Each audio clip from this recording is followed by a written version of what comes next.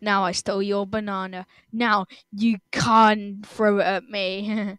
Yoink. Hey, give that back.